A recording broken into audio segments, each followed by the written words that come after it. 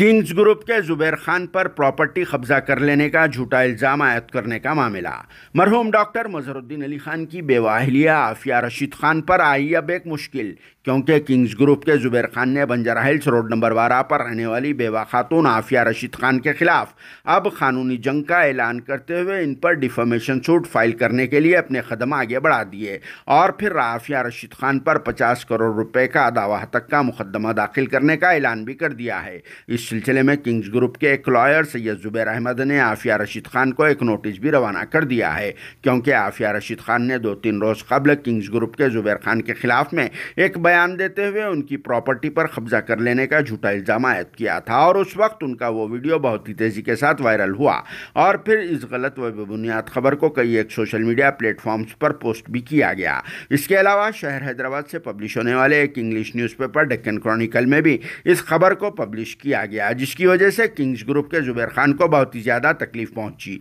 और फिर सोसाइटी में इनकी इमेज भी मुतासर हुई। क्योंकि जुबैर खान ने अपने बयान में बिल्कुलिया तौर पर यह साफ़ कह दिया है कि इन्होंने बेवा खातून आफिया रशीद खान की किसी भी प्रॉपर्टी पर कब्जा नहीं किया और इन पर लगाया गया वो इल्ज़ाम बिल्कुलिया तौर पर झूठा है। इसी वजह से किंग्स ग्रुप के जुबैर खान ने आफिया रशीद खान के अलावा डेक्कन क्रॉनिकल, इंग्लिश न्यूज़पेपर और दूसरे चार सोशल मीडिया प्लेटफॉर्म्स के खिलाफ भी इसी तरह से एक्शन लेने का ऐलान करते हुए इन पर भी पचास पचास करोड़ रुपये का डिफॉर्मेशन सूट फ़ाइल कर दिया और फिर आफिया रशीद खान के साथ साथ डेक्कन क्रॉनिकल के अलावा सोशल मीडिया के चार प्लेटफॉर्म्स को भी नोटिस रवाना कर दिया गया। और इस मामले में किंग्स ग्रुप के जुबैर खान ने साफ़ कह दिया है कि इन पर झूठे इल्ज़ाम लगाने वालों के खिलाफ कानूनी एक्शन लिया जाएगा। बस वक्त का इंतज़ार है।